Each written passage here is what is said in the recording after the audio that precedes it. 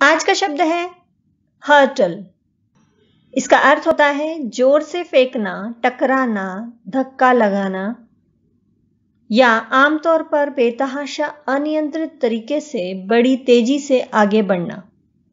इस शब्द के उदाहरण है he saw rock hurtling down the hill into the river उसने देखा कि चट्टान बड़ी तेज़ी से, पहाड़ी से नीचे, नदी में गिर रही है।